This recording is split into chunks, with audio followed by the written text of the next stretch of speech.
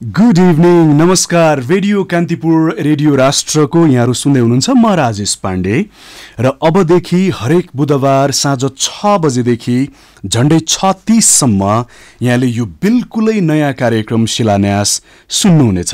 र शिलान्यासमा हामी घर निर्माणका बारेमा कुराकानी गर्छौँ। हुन त हाम्रो समाजलाई यसो निहालेर हेर्ने हो भने एउटा घर बनाउनु हाम्रो जीवनको उद्देश्य सपना जस्तो भइराखेको हुन्छ। हामी देशमा बस्छौँ विदेश जान्छौँ कमाइ गर्छौँ एउटा घर बनाउन सकियोस् र कम्तीमा आफ्नो परिवारलाई निश्चित सुरक्षा दिन सकियोस् भन्ने उद्देश्य हामी सबैको दिमागमा घुमिराखेको हुन्छ। तर के हामीले बनाउने भनेको घर हामीले बनाउन खोजे जस्तै गरी बनिराखेको छ त? हाम्रो घर बनाउने वा घर निर्माण गर्ने परम्परा कस्तो छ? घरले दिने सुरक्षा र कम्फर्ट के हामीले पाइराखेका छौँ त? लगायतका विभिन्न विषयमा हामी शिलान्यासमा कुराकानी गर्नेछौँ।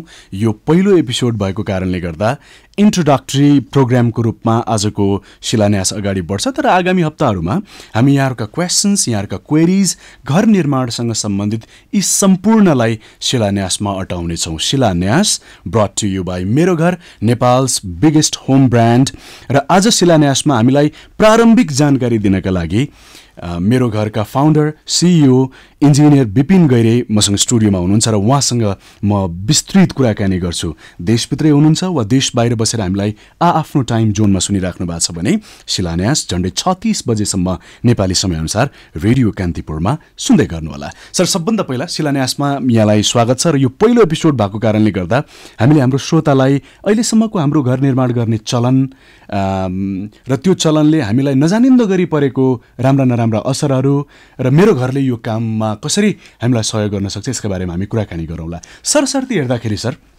नेपालैभरि कमाइ गरौँ दुई पैसा जोडौँ र एउटा घर बनाऊँ आफूलाई र परिवारलाई छत दिउँ सुरक्षा दिउँ र मेरो पनि घर छ है भन्ने आनन्दको साथमा जीवन बाँचौँ भन्ने मेन्टालिटी हामी सबैमा देखिन्छ र त्यसको लागि हामीले घर बनाउँछौँ। झट्ट लेम्यानले सुन्दाखेरि वा सोच्दाखेरि त यसरी सोध्छ। तर एक्सपर्टको हिसाबबाट यहाँहरूले देख्दाखेरि चाहिँ नेपालमा सरदर घर किन बनाइन्छ र कसरी बनाएको यहाँहरूले पाउनु भएको छ। यहाँहरूले त्यसको लागि सर्वे पनि गर्नुभएको छ। के देखिन्छ सर यहाँको विचारमा? धन्यवाद Rai sir. Thank you so much for calling so नेपालमा तपाईँलाई अचम्म लाग्ला वर्षमा पचास हजार घर बन्छन्। हजुर। पचास हजार घर यो चाहिँ लगभग नेपालको सहरहरूमा बन्ने पक्की घर हुन्। जुन चाहिँ नगरपालिका अथवा गाउँपालिकामा दर्ता भएर बन्ने घरहरू। तर ती घरहरू सबै जसले बनाउनुहुन्छ उहाँहरू आफैले आफ्नै सम्पूर्ण अकाउन्टेबिलिटीमा बनाइराख्नु भएको अवस्था छ। भनेको? अहिलेसम्म। जस्तै तपाईँ आफ्नै आफूले अहिले जुन घर बनाइराख्नु भएको छ बनाइ हामीले बनाइरहेका छौँ त्यो घर कम्प्लिटली आफैले जानेर अथवा नजानेर आफूलाई जस्तो चाहिएको छ हाम हामीलाई ठुलो अथवा सानो जस्तो हामीलाई चाहिँ बनाउनु मन छ त्यो अनुसारले बनाइएको छ। प्राविधिकहरूको सल्लाह अथवा प्राविधिकहरूको सुझाव धेरै कमले पाउनु भएको छ। उहाँले नचाहेर होइन प्राविधिकको एक्सेस नभएर नै भन्छु म होइन। सो हामीले हामीले जानी नजानी हामीले चाहिँ हामीलाई चाहिएको भन्दा अलिक फरक तरिकाले घर बनाइरहेका छौँ। घर बनाउनको लागि अहिलेसम्म हामीले के गर्छौँ भने आफ्नो काम छोड्छौँ सबभन्दा पहिला। आफ्नो काम छोड्छौँ त्यसपछि हामीले घर कस्तो बनाउने? हामीले अब वरिपरि जो चिनेका छौँ जानेका छौँ उहाँसँग सल्लाह लिन्छौँ र त्यस्तो खालको एउटा नक्सा चाहिँ कोर्छौँ। र त्यो नक्सा कोरिसकेपछि त्यसको निश्चित के मिनिमम क्राइटेरिया पुर्याउनुपर्छ सकेसम्म त्यो पनि पुर्याउनु नपर्ने हो भने त्यो पनि सायद पुर्याइन्थेन होला होइन?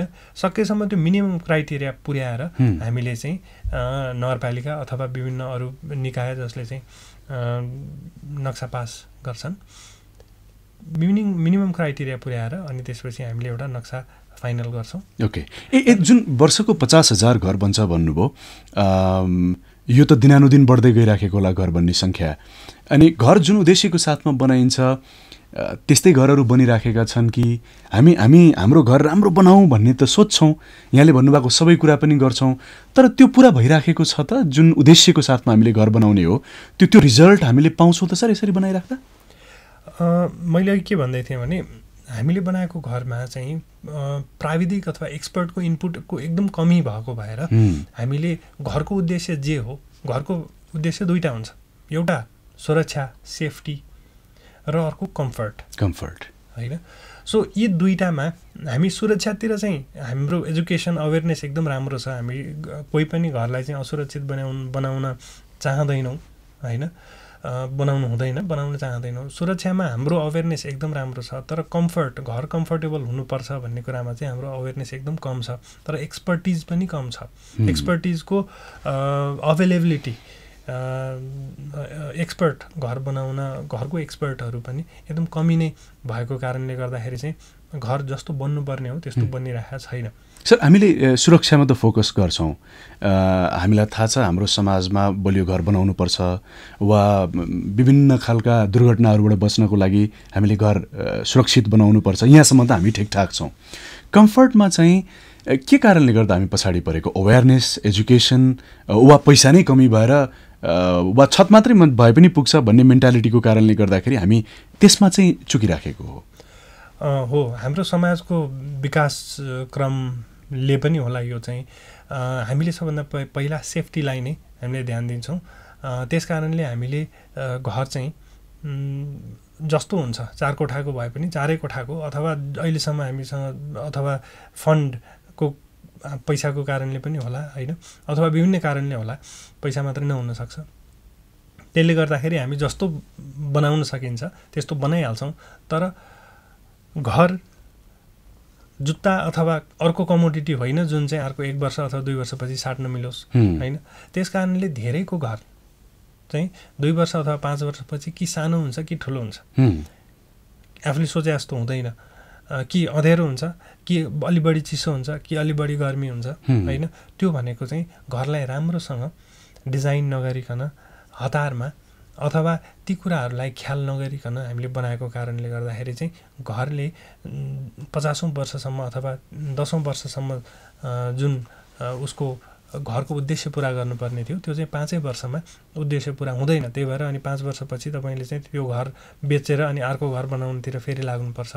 सो मेरो घरले चाहिँ हामीले तपाईँलाई यो समस्या नपरोस् भनेर पहिले नै घर बनाउँदाखेरि नै हामीले सेफ्टी र कम्फर्टलाई चाहिँ एकदमै ध्यान दिनुपर्छ भनेर एडभोकेट गर्छौँ। ओके यसको बारेमा मेरो घरको सेवा सुविधा वा मेरो मेरो घरको उद्देश्यका बारेमा त हामी डिटेलमा कुराकानी गर्छौँ नै।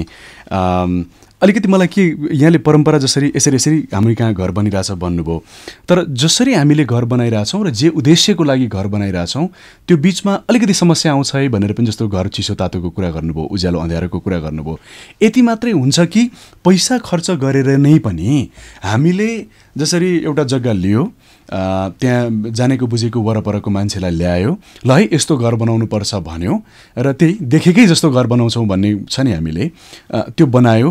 पैसा त खर्च भयो नै तर पैसा खर्च हुँदा हुँदै पनि हामीले खोजिराखेको जुन जुन सपनाको घर हुन्छ ड्रिम हाउस हुन्छ हाम्रो त्यो ड्रिम हाउस हामीले पाइराखेको हुन्छौँ वा त्यहाँ विभिन्न समस्याहरू आउँछन्? यसमा पनि अलिकति कुरा गरौँ सर। यसरी हामीले सरदरी बोलीचालीको भाषामा भन्दाखेरि ठेकेदारको प्रयोग गर्ने वा आफै इन्भल्भ भएर घर बनाउँदाखेरि हामीले खोजेको जस्तो घर घर त बन्छ तर त्यस्तो घर बन्छ वा समस्यासहितका घरहरू बन्छन्? हामी कहाँ देखिएका प्रमाणहरू के छन् उदाहरणहरू के छन् सर? घर बनाउँदाखेरि हामीले चाहिँ अहिलेसम्म सबै काममा आफै नै लागिरहेका हुन्छौँ। सबै काममा। काम गर्ने मान्छे खोज्नु पऱ्यो ठेकदार खोज्नु पऱ्यो पेन्टर खोज्नु पऱ्यो प्लम्बर खोज्नु पऱ्यो इँटा खोज्नु पऱ्यो गिट्टी बालुवा खोज्न दौडिनु पऱ्यो अफिस जान छोडेर एक किलो काँटी लिएर दौडिनु पऱ्यो सो सबै काममा आफै दौडिरहेका छौँ। त्यहाँसम्म त ठिकै छ। आफै बालुवा लिन दौ दौडिँदाखेरि अलिकति राम्रो राम्रो बालुवा आउँछ त्यो एकदम राम्रो कुरा हो। आफै इँटा लिन जाँदाखेरि इँटा राम्रो आउँछ ठिक हो।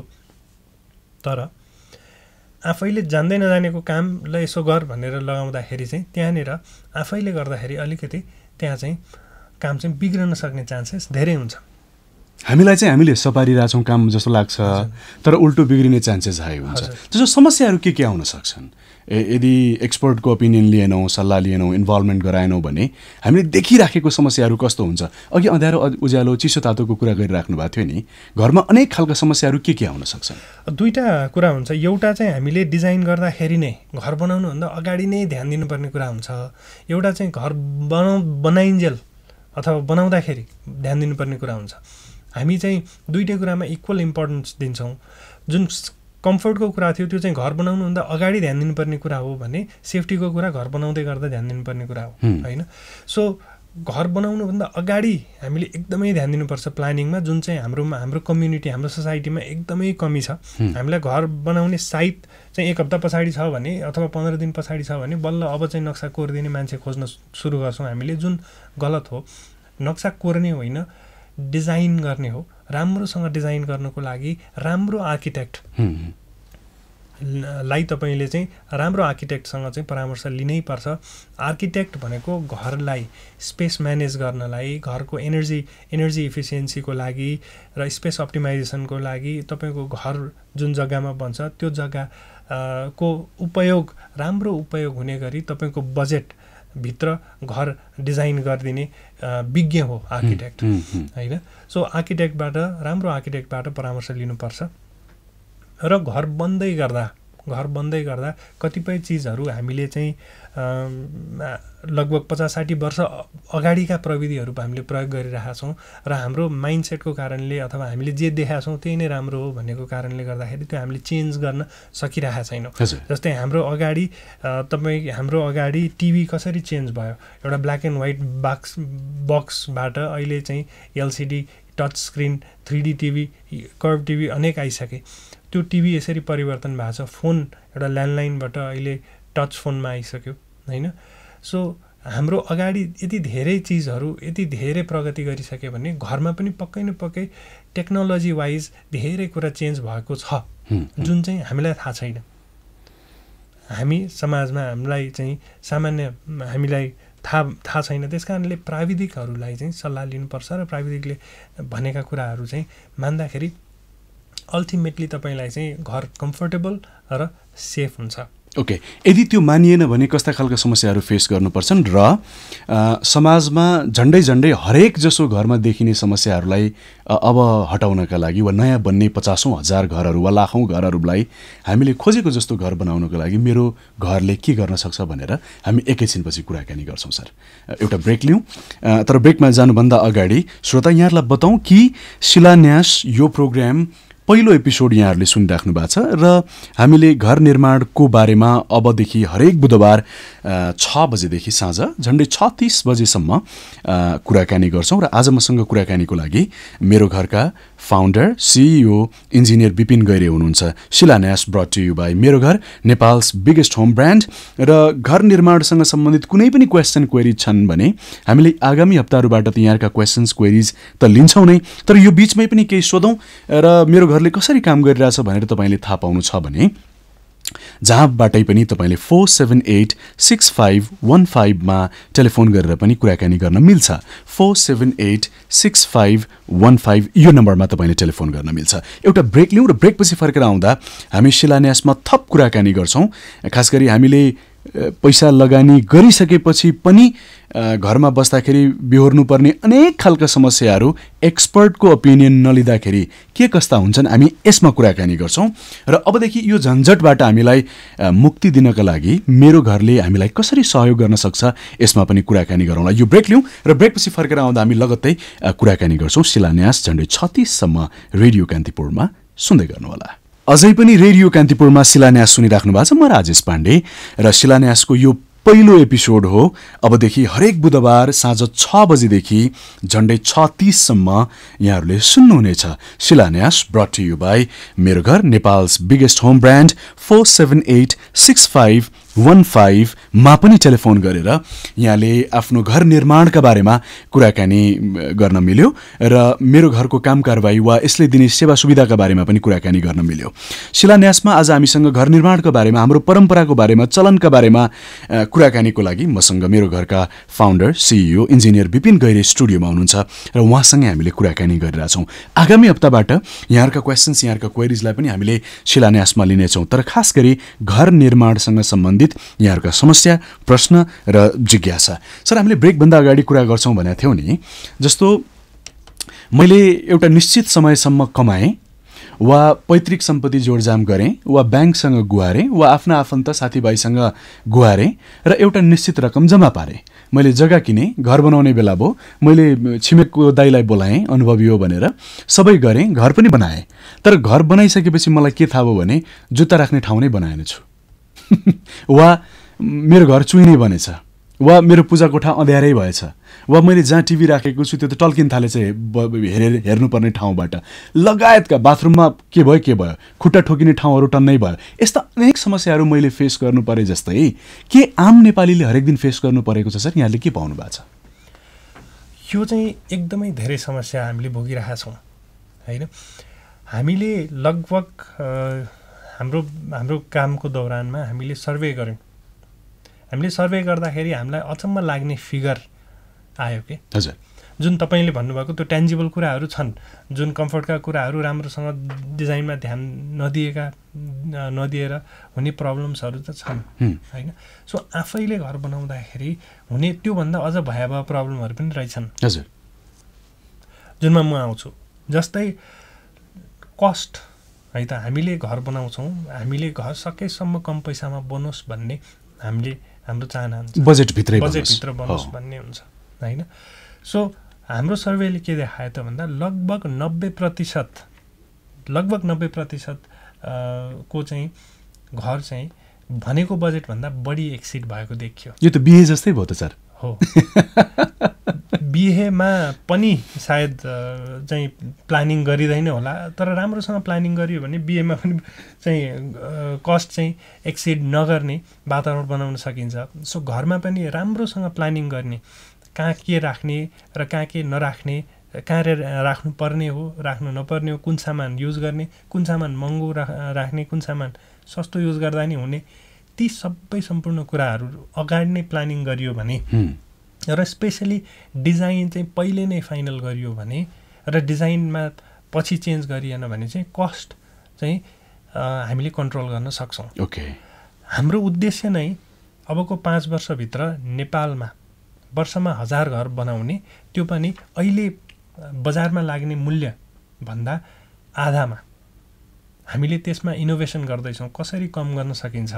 कसरी कस्ट कम गर्न सकिन्छ? कुन चिजले चाहिँ कस्ट बढी गरिरहेको छ त घरमा? कुन चिज चाहिँदैन होइन? त्यो चिजहरूलाई चाहिँ हामीले कसरी घटाउन सकिन्छ भनेर चाहिँ हामीले इनोभेट गरिरहेका छौँ।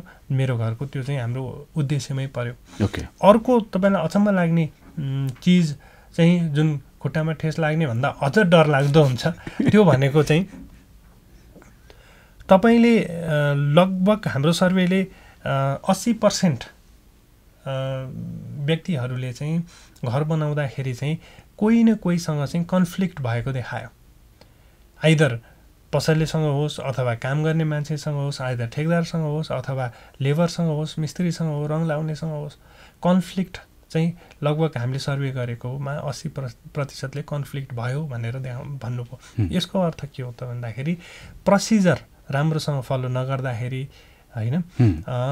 राम्रोसँग डकुमेन्टेसन नगर्दाखेरि चाहिँ र राम्रो मान्छे अथवा अथवा प्रोफेसनल्सहरू हायर नगर्दाखेरि चाहिँ यी प्रब्लम्सहरू चाहिँ हुन्छन् ओके अरू कस्ता खालको प्रब्लम्सहरू छन् सर?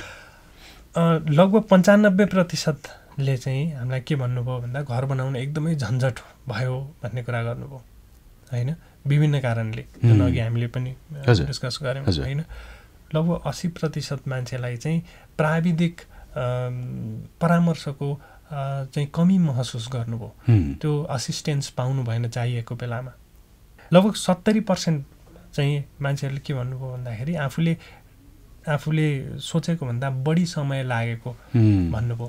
भनेको लगभग सत्तरी प्रतिशतले चाहिँ आफ्नो घर समयमा सक्न सक्नु भएन। विभिन्न कारणले ती कारणहरू हामीलाई थाहा छ। मैले यहाँ भन्नै पर्दैन। सबैलाई थाहा छ। के के कारण हुन्छन् भन्ने कुरा होइन? काम गर्ने मान्छे समयमा अभाइलेबल नहुने एकजनाले धेरै काम गर्नेदेखि लिएर धेरै कुराहरू होइन? चाडबाड धेरै हुनेदेखि लिएर धेरै कुराहरू होइन? सो यी चाहिँ यति धेरै ठुला समस्या हुन् होइन? र त्यो बाहेक हामीले घर बनाउँदाखेरि जस्तै घर बनाइसकेपछि घरको सुरक्षा गर्न अर्को चुनौती हुन्छ तपाईँलाई। ए घर चाहिँ मैले मेरो सुरक्षाको लागि। बनाएको हो वा मेरो परिवारको सुरक्षाको लागि बनाएको हो। तर अब अब रोल उल्टो भयो। भनेको घरको सुरक्षा गर्ने मेरो चुनौती थपियो। ओके तपाईँले साठी सत्तरी लाख रुपियाँ खर्च गरेर अस्सी लाख रुपियाँ खर्च गरेर घर बनाउनुहुन्छ। तर तपाईँले अब त्यो घर कुर्नको लागि तपाईँले आफै बस्नु पर्यो है अथवा त्यो घर कुर्नको लागि तपाईँले फेरि अर्को कसैलाई राख्नु पर्यो? त्यो भनेको त झन् ठुलो प्रब्लम हो नि। झनै बाँधियो नि। झन् बाँधिनु भयो। त्यही भएर हामीले धेरै ठाउँमा सर्वे गर्दाखेरि घर चाहिँ किन बनाउने भन्दाखेरि घर चाहिँ डेढ तला आफूलाई चाहिएको एक तला चाहिँ भाडामा। भाडा किन? भाडा खानलाई। होइन भाडा त त्यो घरको भाडा कति नै आउँछ र भाडाभन्दा पनि साथीको लागि। अब हेर्नुहोस् है एक तला घर बनाउन केही नभए पनि तिस पैँतिस लाख रुपियाँ लाग्छ काठमाडौँमा। तिस पैँतिस लाख रुपियाँ खर्च गरेर तपाईँको घर कुर्नको लागि मात्रै तपाईँले तिस पैँतिस लाख रुपियाँ खर्च गर्दै हुनुहुन्छ। जुन चाहिँ तपाईँले एक लाख रुपियाँको खर्चमा तपाईँले चाहिँ घर कुर्ने लेटेस्ट टेक्नोलोजी। युज गर्न सक्नुहुन्छ। सर्भिलियन्स सिस्टम भन्छौँ हामी त्यसलाई। तपाईँ जहाँ संसारको जुन कुना भए पनि तपाईँको कम्पाउन्डमा कोही छिर्ने बित्तिकै तपाईँको मोबाइलमा घन्टी बज्ने र तपाईँले मोबाइलबाट अहिले भर्खर हेर्न सक्ने सिसिटिभी क्यामेराबाट तपाईँको घरमा के छ कसो छ के भइरहेको छ भनेर हेर्न सक्ने टेक्नोलोजीहरू छन् हामीले प्रयोग गर्छौँ। ओके। सो तपाईँले अब स्मार्टली डिसिजन लिनुपर्छ तपाईँले एक लाख रुपियाँ खर्च गर्ने कि तिस लाख रुपियाँ खर्च गर्ने? सो आफ्नै बलमा आफ्नै बलबुतामा वा चिने जानेको मान्छेलाई ल्याएर हामीले नक्सा कोरेर जसरी सरले भन्नुभयो नक्सा कोरेर घर बनाउने हो भने यी र यावत समस्याहरू हामीले दिनदिनै अ, बेहोर्नु पर्ने हुन्छ र त्यो पनि एक दिन दुई दिनको लागि होइन। सरले भनिहाल्नु भएको छ नि घर भनेको जुत्ता जस्तो होइन नि मन नलागे फाल्न पनि सकिने होइन? वा दिनदिनै फेर्ने कुरा पनि भएन।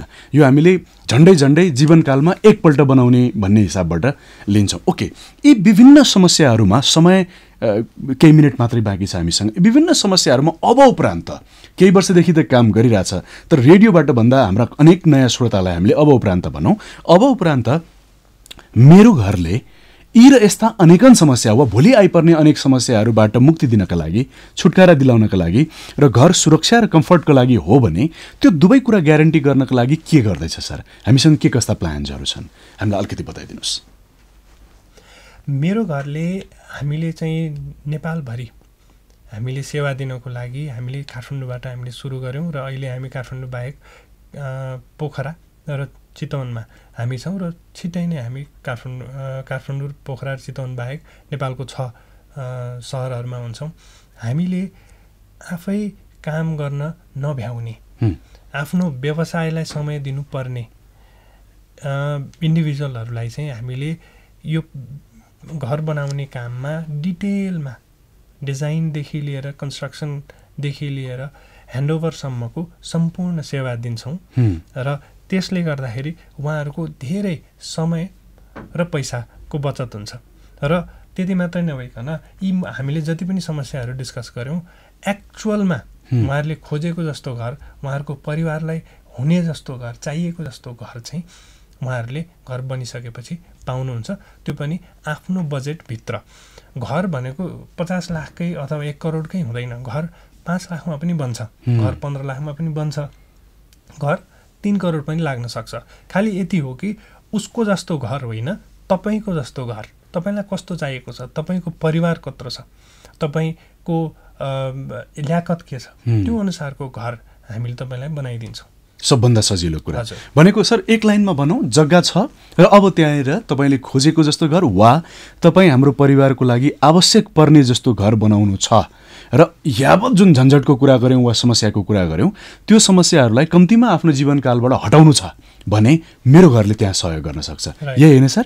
राइट ओके त्यसको लागि हजुर हजुर। र हामीले अहिले पछिल्लो समयमा तपाईँले तपाईँसँग जग्गा छ र विभिन्न कारणले पुँजीको अभावले अथवा समयको अभावले तपाईँले घर बनाउन सुरु गर्न सक्नु भएको छैन भने चाहिँ तपाईँसँग जग्गा छ भने तपाईँले लगानी बिना नै घर बनाउन सक्ने अफर लिएर आएका छौँ। एनएमबी ब्याङ्कसँग मिलेर एनएमबी ब्याङ्कसँगको सहकार्यमा हामीले zero percent down payment offer ल्याएको छौँ जसमा तपाईँले तपाईँको इन्कम अनुसारको र तपाईँलाई कस्तो बजेटको कति बजेटको घर बनाउन मन लागेको छ त्यो अनुसारको घर हामीले जिरो पर्सेन्ट डाउन पेमेन्टमा हजुरलाई बनाएर ह्यान्डओभर गरिदिन्छौँ यसको लागि four seven eight six five one फाइभमा टेलिफोन गर्नुभयो हुन्छ four seven eight six five one five Mero Ghar Nepal's biggest home brand हो र अथवा डब्लु डब्लु डब्लु डट मेरो घर डट कममा गएर विस्तृत जानकारी लिन सक्नु वा फेसबुक पेज मेरो घर वा। युट्युब च्यानल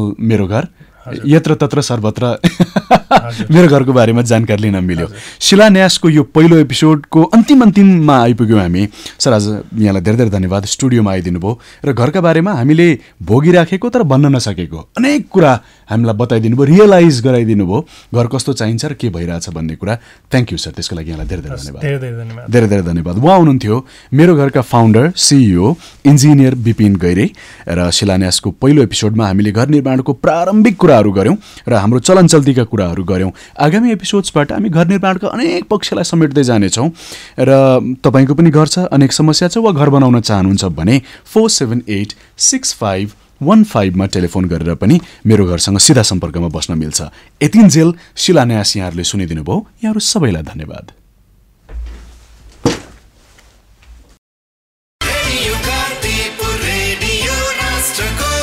सूचना र मनोरञ्जनको सम्वाहक रेडियो राष्ट्रको रेडियो कान्तिपुर